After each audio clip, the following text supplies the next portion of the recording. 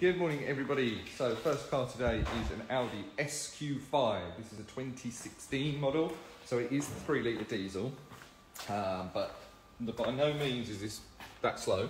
Uh, we are going to make it quite a lot quicker though. But yeah, so we are going to be using oh, our hashtag TrueTune to write the file into the car. Okay, so then the customer can put his car back to stock whenever he wants. Um, it's still our stage one software that will be going on the car, and obviously we'll run it on the dyno and we'll show you what she hits and we'll show you what she makes. Um, but yeah,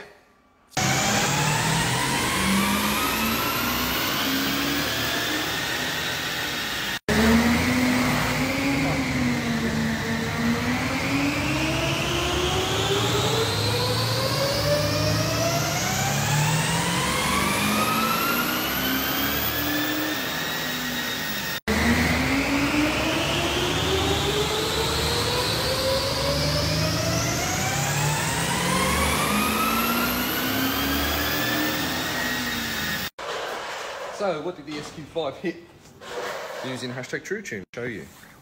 Oh, wrong way. Whoops. So, got stock, hashtag TrueTune stage one, stock 350, 638, about bang on. We're just going 406, 740 Newton meters. So yeah, the stock whenever he wants.